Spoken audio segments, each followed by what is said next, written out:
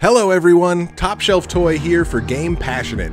Start your engines because Forza Motorsport 8 is here. The latest racing game from Turn 10 Studios just dropped on Xbox Series S and X and Microsoft Windows. It's also available on Game Pass. The Forza games are Microsoft's flagship racing series and are split into two categories Forza Horizon and Forza Motorsport.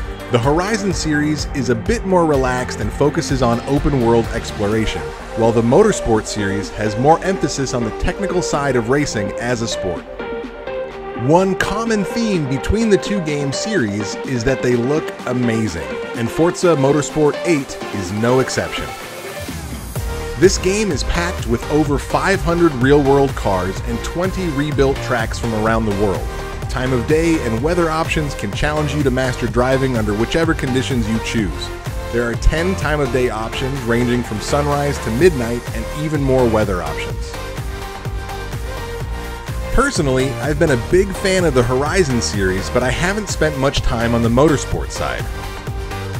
As I was saying before, the motorsport games are more focused on the technical side of racing simulation. That means you will be competing on closed loop tracks doing multiple laps. While you will be racing with other cars on the track, you're really competing with the clock.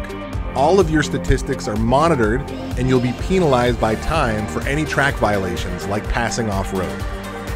At the start of a new series, the game will give you a choice between three cars that are great starting points. You choose the one that you like, and you're off.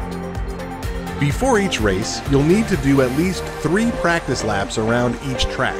This will not only give you a feel for all the twists and turns, but it'll also let the game know what your skill level is. If you're going crazy fast or not fast enough, the game may suggest that you adjust the difficulty level. Once you've cleared your three laps, you can keep practicing or go on to the event. As you start your event, I really like that you can select your starting position out of the 24 slots. The farther back you start, the more credits you'll earn if you get to the top three podium by the end of the race. More credits means you can buy more cars or more parts to enhance the cars that you already have in your garage. Each car can level up, and as they do, you can unlock new parts that can be used to increase the vehicle's performance. You can upgrade your car in between each event, and they suggest experimenting with different parts. If you don't get the result you're looking for, remove the part and use the refunded points for something else. Each car has its own unique set of parts. I'm not much of a gearhead myself, I know the basics, but that's about it.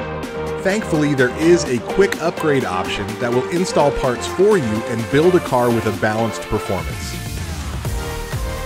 I've been having a great time with this game. The racetracks are pretty to look at, and it's really fun to slam the gas as you come out of corners, overtaking rival cars. The multiple laps on each track let you get into a groove and gradually shave precious seconds off your race times. I really hope everyone that's interested gets to check this game out. It's packed full of content, gorgeous graphics, and engaging high speed gameplay. Thanks for checking out our channel, Game Passionate. Both Nebiroze and myself love playing and talking about video games, so we created this channel where we can do both. With you. If you enjoyed the content, please consider giving us a like or subscribing if you haven't already. It really helps us out. Don't forget to tell us what your favorite cars or racers are in the comments below. Thanks for watching. See you next time.